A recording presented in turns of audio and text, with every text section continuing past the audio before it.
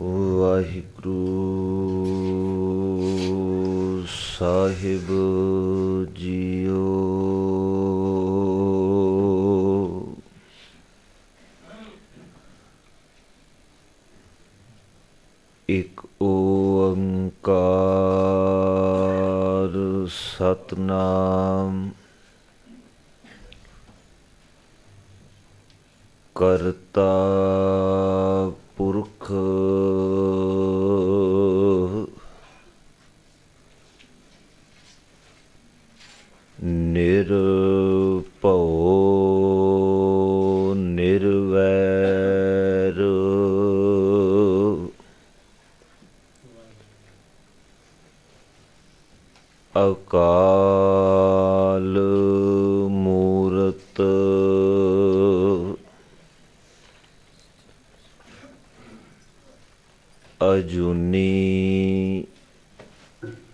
ਸੈਭੰ ਗੁਰ ਪ੍ਰਸਾਦ। ਬੇਸ਼ੁਮਾਰ ਬੇਅੰਤ ਸੁਆਮੀ।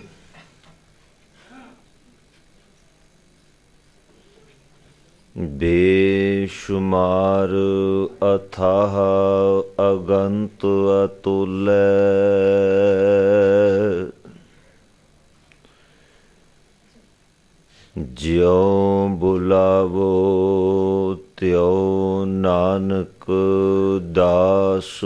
ਬੋਲੇ।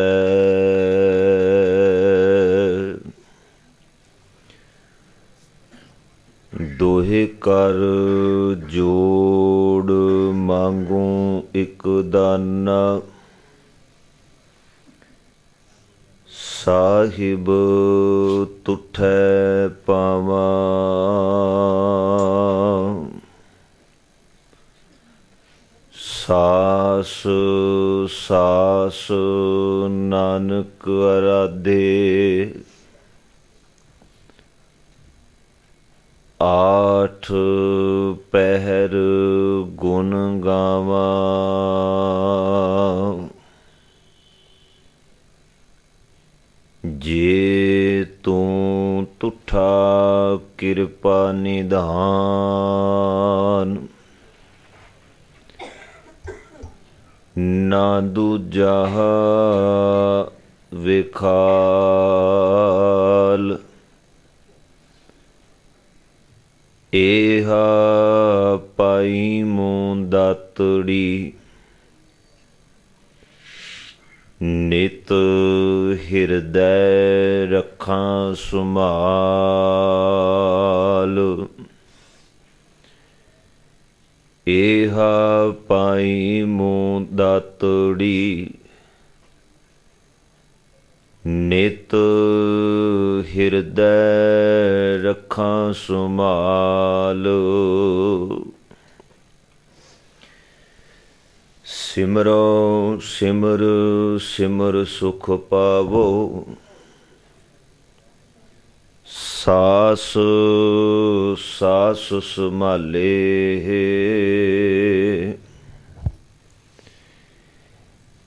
ਇਹ ਲੋਕ, ਪਰਲੋਕ ਸੰਗ ਸਹਾਈ। ਜਤ ਕਤ ਮੋਹੇ ਰਖਵਾਲੇ। ਗੁਰ ਕਾ ਬਚਨ ਬਸੈ ਜੀ ਨਾਲੇ। ਜਲ ਨਹੀਂ ਡੂਬੈ, ਤਸਕਰ ਨਹੀਂ ਲੇਵੈ। ਪਾਹ ਨਾ ਸਕ ਜਲੇ।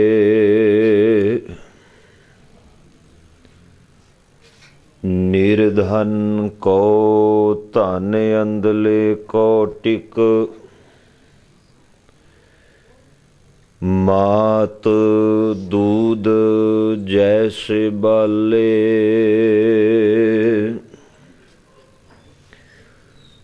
ਸਾਗਰ ਮੈਂ ਬੋਹਿਤ ਪਾਇਓ ਹਰ ਨਾਨਕ।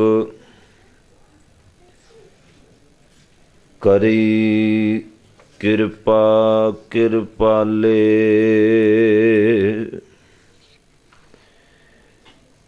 ਨਿਰਧਨ ਕੋ ਧਨ ਅੰਦਲੇ ਕੋ ਟਿਕ, ਮਾਤ ਦੂਧ ਜੈਸੇ ਬਾਲੇ। ਸਾਗਰ ਮੈਂ ਬੋਹਿਤ ਪਾਇਓ ਹਰ ਨਾਨਕ, ਕਰੀ ਕਿਰਪਾ ਕਿਰਪਾਲੇ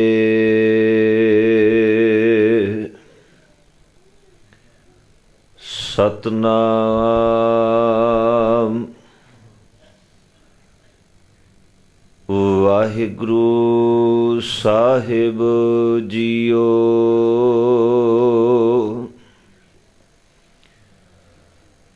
ਸ਼ਲੋਕ ਮਹਿਲਾ ਤੀਜਾ। ਮਨ ਮੁਖ ਵਾਪਾਰੈ, ਸਾਰ ਨਾ ਜਾਣਨੀ। ਬਿਖ ਵਿਹਾਂਜੈ, ਬਿਖ ਸੰਗ੍ਰਹਿ। ਬਿਖ ਸਿਉ ਧਰੈ ਪਿਆਰ। ਬਾਰੋਂ ਪੰਡਤ ਸਦਾਏ ਦੇ ਮਨੋ ਮੂਰਖ ਗਾਵਾਰ। ਮਨ ਮੁਖ ਵਾਪਾਰੈ ਸਾਰ ਨਾ ਜਾਣਨੀ, ਬਿਖ ਵਿਹਾਨੈ ਬਿਖ ਸੰਗਰਹਿ। ਬਿਖ ਸਿਉ ਧਰੈ ਪਿਆਰ। ਬਾਹਰੋਂ ਪੰਡਤ ਸਦਾਇਂਦੇ ਮਨੋ ਮੂਰਖ ਗਾਵਾਰ। ਹਰ ਸਿਉ ਚੇਤਨਾ ਲਾਏ ਨੀ ਵਾਦੀ ਧਰਨ ਪਿਆਰ। ਵਾਦਾਂ ਕੀਆਂ ਕਰਨ ਕਹਾਣੀਆਂ। ਕੂੜ ਬੋਲ ਕਰੈ ਆਹਾਰ। ਜਗ ਮੈਂ RAM ਨਾਮ ਹਰ ਨਿਰਮਲਾ। ਹੋਰ ਮੈਲਾ ਸਭ ਆਕਾਰ। ਨਾਨਕ ਨਾਮ ਨਾ ਚੇਤਨੀ, ਹੋਏ ਮੈਲੇ ਮਰੈ ਗਵਾਰ। ਜਗ ਮੈਂ RAM ਨਾਮ ਹਰ ਨਿਰਮਲਾ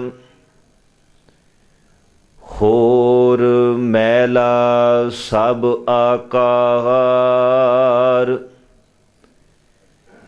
ਨਾਨਕ ਨਾਮ ਨਾ ਚੇਤਨੀ। ਹੋਏ ਮੈਲੇ ਮਰੈ ਗਵਾਰ ਮਹਿਲਾ ਤੀਜਾ। ਦੁਖ ਲੱਗਾ ਬਿਨ ਸੇਵਿਐ।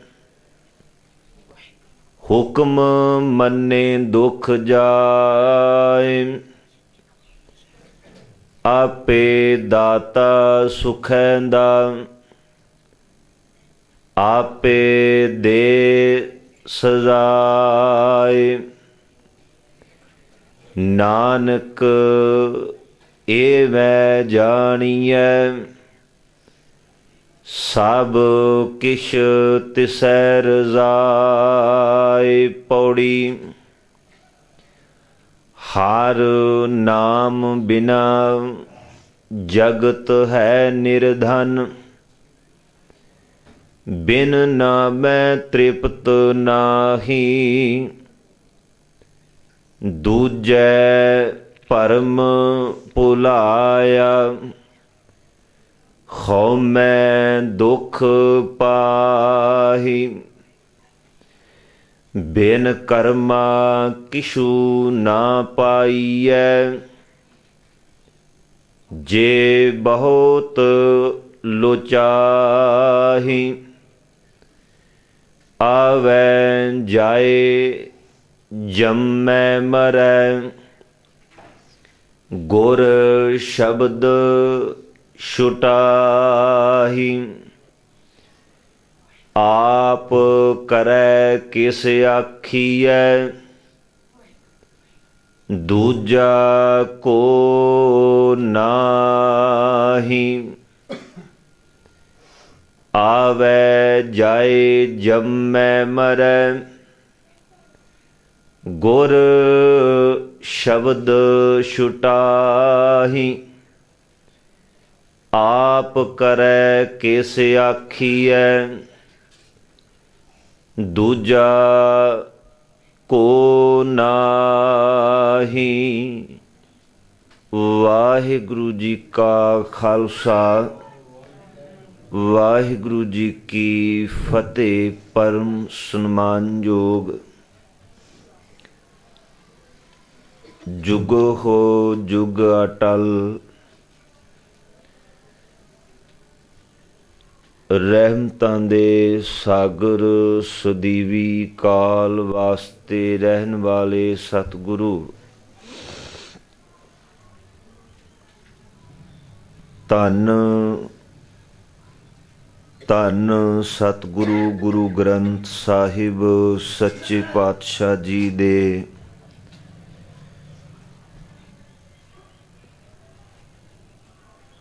ਸਜੇ ਹੋਏ ਅੰਮ੍ਰਿਤ ਵੇਲੇ ਦੇ ਗੁਰੂ ਦਰਬਾਰ ਦੀਆਂ ਹਾਜ਼ਰੀਆਂ ਪਰ ਰਹਿ।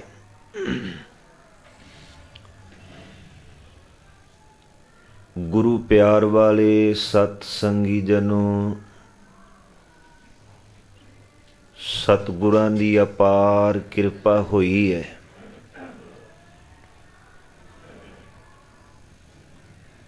ਸਾਨੂੰ ਸਭਨਾਂ ਨੂੰ ਰਲ ਮਿਲ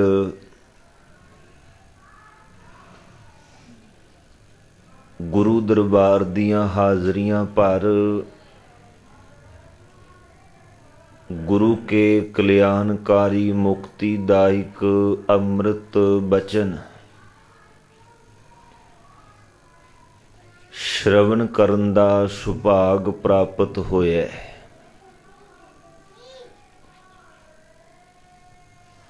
ਕੀਰਤਨ ਰੂਪ ਦੇ ਰਾਹੀਂ ਗੁਰੂ ਕਿਆਂ ਦੇ ਪਾਸੋਂ ਆਸਾ ਜੀ ਦੀ ਵਾਰ ਦੇ ਮਨੋਹਰ ਕੀਰਤਨ ਸ਼ਰਵਣ ਕਰ ਰਹੇ ਸੀ।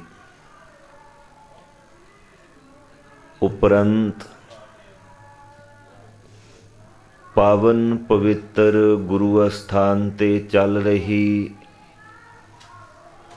ਗੁਰੂ ਕੀ ਅੰਮ੍ਰਿਤ ਮਈ ਗੁਰਬਾਣੀ ਦੀ ਲੜੀਵਾਰ ਵਿਚਾਰ ਔਰ ਵਿਚਾਰ ਅਧੀਨ ਸਤਿਗੁਰੂ ਗੁਰੂ ਅਮਰਦਾਸ ਸਾਹਿਬ ਸੱਚੇ ਪਾਤਸ਼ਾਹ, ਤਿਨਾਂ ਦੇ ਮੁਖਾਰਬਿੰਦ ਤੋਂ ਉਚਾਰਨ ਕੀਤੀ ਹੋਈ ਮਾਰੂ ਰਾਗ ਦੀ ਵਾਰ ਔਰ ਇਸ ਵਾਰ ਦੀ 16ਵੀਂ ਪੌੜੀ ਦੇ ਨਾਲ ਲੱਗਦੇ ਸ਼ਲੋਕ ਔਰ ਪੌੜੀ ਵਿਚਾਰ ਪਾਠ ਰੂਪ ਦੇ ਰਾਹੀਂ ਸ਼ਰਵਣ ਕੀਤੀ ਹੈ। ਵਿਚਾਰ ਅਧੀਨ ਅੱਜ ਦੇ ਇਹਨਾਂ ਪਾਵਨ ਪਵਿੱਤਰ ਅੰਮ੍ਰਿਤ ਬਚਨਾਂ ਦੇ ਰਾਹੀਂ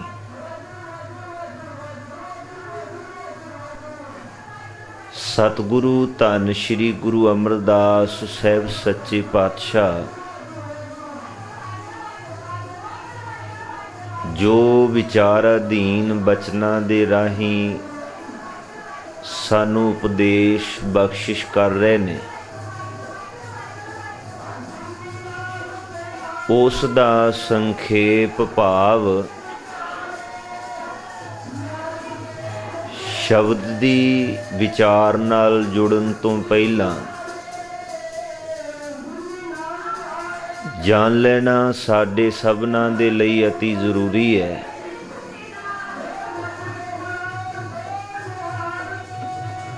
ਤਾਂ ਜੋ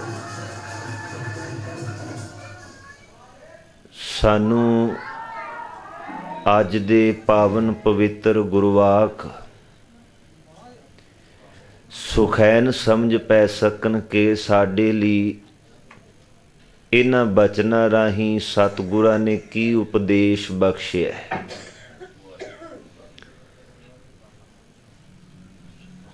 ਹਜ਼ੂਰ ਦਾ ਵਿਚਾਰ ਅਧੀਨ ਪਹਿਲਾ ਸ਼ਲੋਕ ਹੈ,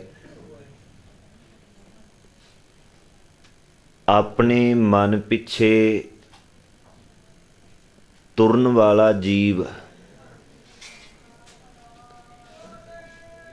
ਮਨਮੁਖ ਜਿਹੜਾ ਉਹਨੂੰ ਇਸ ਗੱਲ ਦੀ ਸਾਰ ਨਹੀਂ ਕਿ ਮੈਂ ਇਸ ਦੁਨੀਆ ਵਿੱਚ ਮਨੁੱਖਾ ਜਨਮ ਮੈਨੂੰ ਕਾਦੇ ਲਈ ਮਿਲਿਆ ਮਨਮੁਖ ਨੂੰ ਇਸ ਗੱਲ ਦੀ ਸੋਝੀ ਨਾ ਹੋਣ ਕਾਰਨ ਉਹ ਸਾਰੀ ਜ਼ਿੰਦਗੀ ਗੁਰੂ ਅਮਰਦਾਸ ਪਾਤਸ਼ਾਹ ਕਹਿੰਦੇ ਨੇ, ਜ਼ਹਿਰ ਇਕੱਤਰ ਕਰਦਾ ਰਹਿੰਦਾ ਹੈ। ਔਰ ਉਹ ਆਪਣੇ ਕੋਲੋਂ ਸੰਚ ਵੀ ਰਿਹਾ ਹੈ, ਇਕੱਠੀ ਕਰ ਰਿਹਾ ਹੈ ਤੇ ਕੇਵਲ ਜ਼ਹਿਰ। ਹਜ਼ੂਰ ਨੇ ਬਚਨ ਕਹਿ ਨੇ, ਮਨ ਮੁਖ ਵਾ ਪਾਰੈ ਸਾਰ ਨਾ ਜਾਣਨੀ। ਮਨ ਮੁਖ ਨੂੰ ਮਿਲੇ ਹੋਏ ਮਨੁੱਖੀ ਜੀਵਨ ਦਾ ਪਤਾ ਨਹੀਂ, ਇਹ ਕਾਦੇ ਲਈ ਮਿਲਿਆ ਤੋ ਹਜ਼ੂਰ ਕਹਿੰਦੇ ਨੇ, ਸਾਰ ਨਾ ਹੋਣ ਕਰਕੇ ਪਤਾ ਨਾ ਹੋਣ ਕਾਰਨ ਵੇਖ ਵਿਹਾਂਜੈ। ਸੰਚਰਿਆ, ਇਕੱਠੀ ਕਰ ਰਿਹਾ ਔਰ ਵੇਖ ਸਿਉ ਧਰੈ ਪਿਆਰ। ਹੁਣ ਇੱਥੇ ਵੇਖ ਦਾ ਅਰਥ ਰੱਬ ਦੀ ਯਾਦ ਨੂੰ ਜੀਵਨ ਵਿੱਚੋਂ ਭੁਲਾ ਕੇ ਜੋ ਜੋ ਪਦਾਰਥ, ਜੋ ਕੁਝ ਵੀ ਜੀਵਨ ਵਿੱਚ ਇਕੱਠਾ ਕੀਤਾ ਹੈ, ਗੁਰੂ ਅਮਰਦਾਸ ਮਹਾਰਾਜ ਕਹਿੰਦੇ ਉਹ ਅਸਲ ਵਿੱਚ ਜ਼ਹਿਰ ਹੀ ਹੈ। ਰੱਬ ਦੀ ਯਾਦ ਤੋਂ ਇਲਾਵਾ ਜੋ ਦਿਨ ਰਾਤ ਇੱਕ ਕਰਕੇ ਆਪਣੇ ਕੋਲ ਇਕੱਤਰ ਕਰ ਰਿਹਾ ਹੈ ਰੱਬੀ ਯਾਦ ਨਾ ਹੋਣ ਕਰਕੇ ਉਹ ਜ਼ਹਿਰ ਹੀ ਹੈ ਹਜ਼ੂਰ ਫਿਰ ਅੱਗੇ ਬਖਸ਼ਿਸ਼ ਕਰਦੇ ਨੇ, ਕਹਿਣ ਲੱਗੇ ਬਾਜ ਮੁਖੀ ਹਰ ਬੰਦਾ ਇਹ ਦਿਸਣਾ ਚਾਹੁੰਦਾ ਹੈ ਕਿ ਮੈਂ ਧਰਮੀ ਆ ਬਾਹਰੋਂ ਬਾਹਰੋਂ ਔਰ ਸੱਚੀ ਮੁੱਚੀ ਜਿਹੜਾ ਬਾਹਰੋਂ ਬਾਹਰੋਂ ਆਪਣੇ ਆਪ ਨੂੰ ਧਰਮੀ ਹੋਣ ਦਾ ਵਿਖਾ ਰਿਹਾ ਨਾ, ਉਹਦੇ ਆਪਣੇ ਲਈ ਵੀ ਉਹ ਖਤਰਨਾਕ ਹੈ। ਸਮਾਜ ਲਈ ਤਾਂ ਉਹ ਹੈ ਹੀ ਹੈ ਨਾ। ਤੋ ਗੁਰੂ ਅਮਰਦਾਸ ਪਾਤਸ਼ਾਹ ਕਹਿੰਦੇ ਨੇ, ਬਾਹਰੋਂ ਪੰਡਤ ਸਦਾਏ ਦੇ ਮਨੋ ਮੂਰਖ ਗਵਾਰ। ਬਾਹਰੋਂ ਬਾਹਰੋਂ। ਮਨ ਵਿੱਚ ਸੱਚੇ ਰੱਬ ਦਾ, ਪ੍ਰਮਾਤਮਾ ਦਾ ਵਿਚਾਰ ਨਹੀਂ ਹੈ। ਹਰਸਿਓ ਚੇਤਨਾ ਲਾਈ ਨੀ ਵਾਦੀ ਕਰਨ ਪਿਆਰ।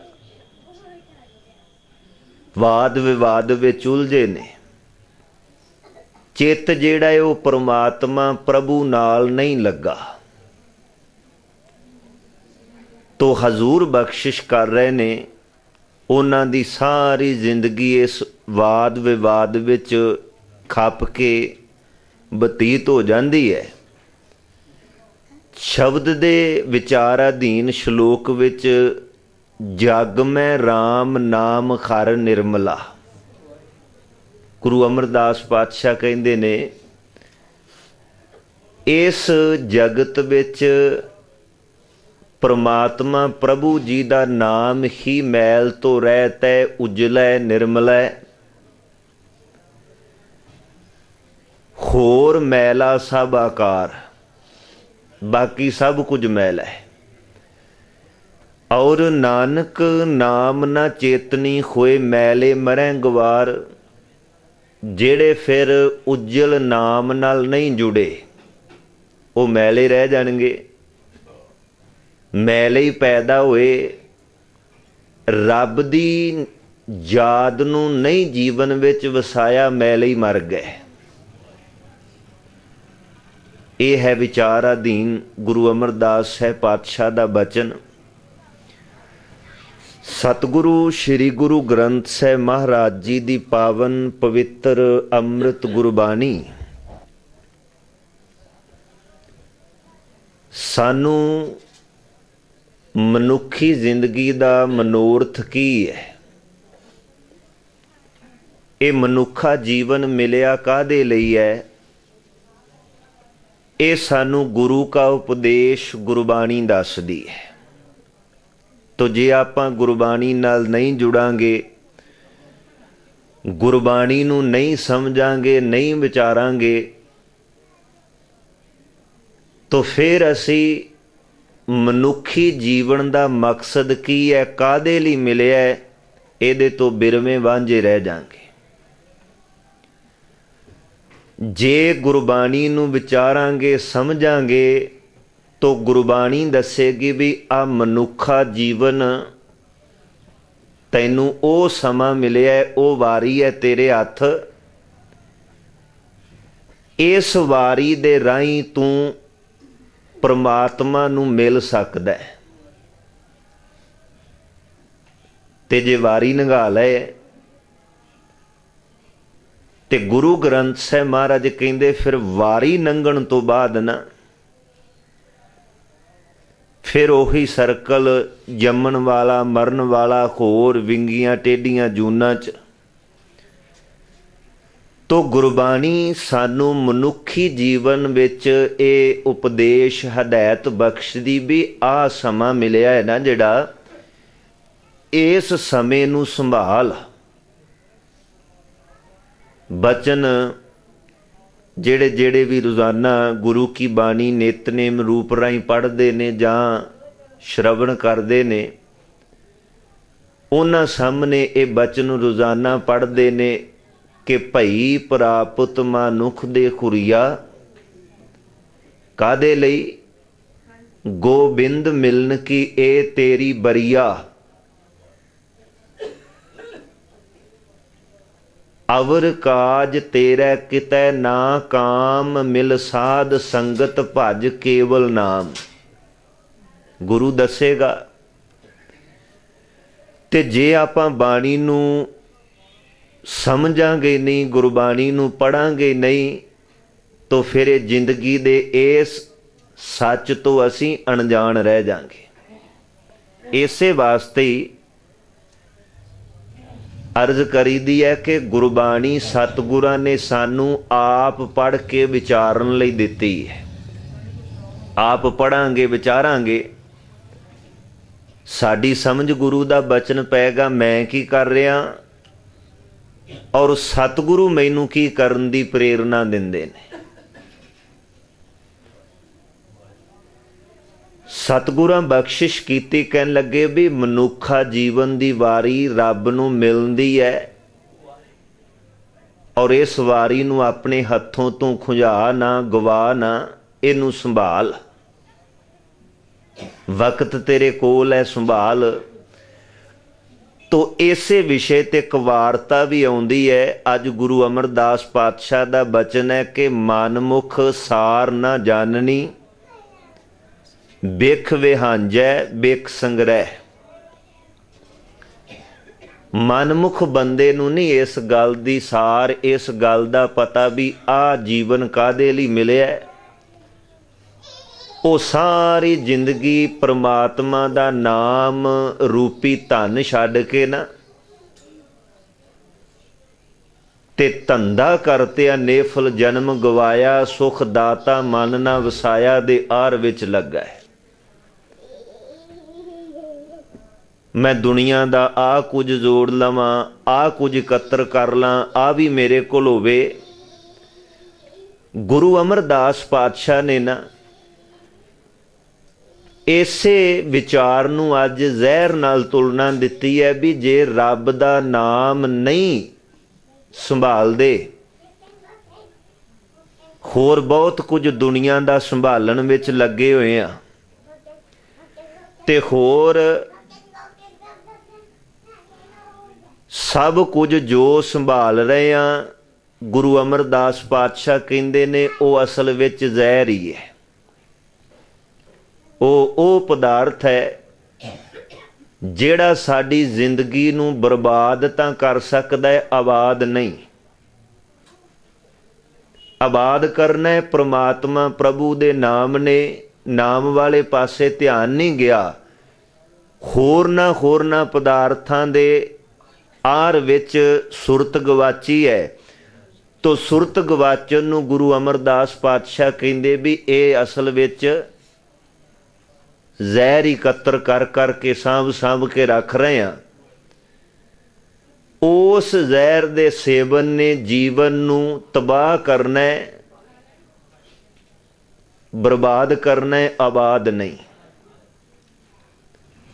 ਤੋ ਗੁਰਬਾਣੀ ਇਸੇ ਵਿਸ਼ੇ ਦੇ ਮੁਤਲਕ ਕਿ ਮਨੁੱਖਾ ਜੀਵਨ ਹੱਥ ਲੱਗਾ ਇਹੀ ਸਾਨੂੰ ਰੱਬ ਦੇ ਘਰ ਵੱਲੋਂ ਮਿਲੀ ਵਾਰੀ ਹੈ ਔਰ ਇਹਨੂੰ ਅਸੀਂ ਤਕੜੇ ਹੋ ਕੇ ਗੁਰੂ ਉਪਦੇਸ਼ ਨੂੰ ਸੰਭਾਲ ਕੇ ਜੀਵਨ ਵਿੱਚ ਕਮਾ ਕੇ ਸਫਲ ਕਰ ਕਰ ਸਕਦੇ ਆ ਇਹ ਸਾਡੇ ਕੋਲ ਵਕਤ ਮੌਕਾ ਹੈ। ਇਸੇ ਸੰਬੰਧ ਵਿੱਚ ਇੱਕ ਕਥਾ ਵਾਰਤਾ ਵੀ ਆਉਂਦੀ ਹੈ, ਕਿਆ ਵਾਰੀ? ਸਾਨੂੰ ਪ੍ਰਮਾਤਮਾ ਨੂੰ ਰੱਬ ਨੂੰ ਮਿਲਦੀ ਹੈ। ਕਹਿੰਦੇ ਵੀ ਕਿਸੇ ਕਿਲੇ ਵਿੱਚ ਨਾ, ਕਿਲੇ ਦੇ ਅੰਦਰ ਮਨੁੱਖ ਕੋਲ ਅੱਖਾਂ ਦੀ ਜੋਤ ਨਹੀਂ ਹੈ ਤੇ ਉਹਨੂੰ ਢੱਕ ਦਿੱਤਾ ਗਿਆ ਹੈ। ਸਜ਼ਾ ਹੋ ਗਈ। ਤੇ ਜਿਨ੍ਹਾਂ ਨੇ ਉਹਨੂੰ ਕਿਲੇ ਦੇ ਅੰਦਰ ਬੰਦ ਕੀਤਾ ਹੈ ਢੱਕਿਆ ਉਹਨਾਂ ਇੱਕ ਗੱਲ ਕਹੀ ਵੀ ਇੱਥੋਂ ਤੂੰ ਆਪਣੀ ਸਿਆਣਪ ਨਾਲ ਮੌਕਾ ਤੇਰੇ ਕੋਲੇ ਆਪਸ਼ਨ ਹੈ। ਆਪਣੀ ਸਿਆਣਪ ਨਾਲ ਨਿਕਲ ਸਕਦਾ ਤੇ ਨਿਕਲ ਜਾਈ। ਅਸੀਂ ਕੋਈ ਨਹੀਂ ਕੱਢਣਾ। ਉਹ ਕਹਿੰਦਾ ਵੀ ਮੇਰੇ ਕੋਲ ਅੱਖਾਂ ਦੀ ਜੋਤ ਨਹੀਂ। ਤੂੰ ਮੈਨੂੰ ਦੱਸੋ ਵੀ ਕਿਹੜਾ ਆਪਸ਼ਨ ਹੈ, ਮੈਂ ਧਿਆਨ ਦਿਆਂ ਉਹਦੇ ਤੇ। ਬੰਦੀ ਕਰਨ ਵਾਲਿਆਂ ਨੇ ਕਿਹਾ ਵੀ ਜਿਹੜੇ ਕਿਲੇ ਵਿੱਚ ਅੱਜ ਤੈਨੂੰ ਢੱਕ ਦਿੱਤਾ ਹੈ ਨਾ ਇਹਦੇ ਲਗਭਗ 84 ਦਰਵਾਜ਼ੇ ਨੇ 84 ਔਰ 84 ਦਰਵਾਜ਼ਿਆਂ ਦੇ ਵਿੱਚੋਂ ਇੱਕ ਦਰਵਾਜ਼ਾ ਖੁੱਲਾ ਹੈ ਤੇ 83 ਬੰਦ ਨੇ। ਜਾਂ ਤੈਨੂੰ ਜਿਸ ਦਰਵਾਜ਼ੇ ਤੋਂ ਅੰਦਰ ਲੈ ਆਂਦਾ ਇਹ ਨਹੀਂ ਖੁੱਲਣਾ ਹੁਣ ਤੂੰ ਆਪਣੇ ਆਰ ਪਾਰ ਵਿੱਚ ਲੱਗ ਵੀ ਭਾਲ ਭੂਲ ਕੇ ਲੱਭ ਜਿਹੜਾ ਖੁੱਲਾ ਹੈ ਉਹਦੇ ਰਾਹੀਂ ਬਾਹਰ ਜਾ ਸਕਦਾ ਤੇ ਚਲੇ ਜਾ। ਉਸ ਵਾਰਤਾ ਲਿਖਣ ਵਾਲੇ ਲੇਖਕ ਨੇ ਬੜੀ ਸੋਹਣੀ ਗੱਲ ਲਿਖੀ ਵੀ ਅੱਖਾਂ ਦੀ ਜੋਤ ਨਹੀਂ, ਉਹ ਦੀਵਾਰ ਨੂੰ ਆਪਣੇ ਹੱਥਾਂ ਦੇ ਨਾਲ ਟੋਂਦਿਆਂ ਟੋਂਦਿਆਂ ਨਾਲੇ ਨਾਲ ਤੁਰਿਆ ਜਾਂਦਾ ਹੈ, ਨਾਲੇ ਗਿਣਤੀ ਕਰਦਾ ਕਰਦਾ 1 2 ਤੋਂ ਉਹ 82 83 ਤੱਕ ਪਹੁੰਚ ਗਿਆ। ਤੇ ਜਦੋਂ ਹੁਣ ਖੁੱਲੇ ਦਰਵਾਜ਼ੇ ਦੇ ਸਮਕਸ਼ ਪਹੁੰਚਿਆ ਨਾ ਗੱਲ ਉਹ ਸਾਡੇ ਜੀਵਨ ਦੀ ਕਰ ਰਹੇ ਨੇ। ਪਰ ਇੱਕ ਵਾਰਤਾ ਰੂਪ ਦੇ ਰਾਹੀਂ, ਕਥਾ ਰੂਪ ਦੇ ਰਾਹੀਂ ਸਾਨੂੰ ਸਮਝਾਉਂਦੇ ਔਰ ਬਹੁਤਿਆਂ ਦੀ ਸਾਡੀ ਹਾਲਤ ਐਸੀ ਹੈ।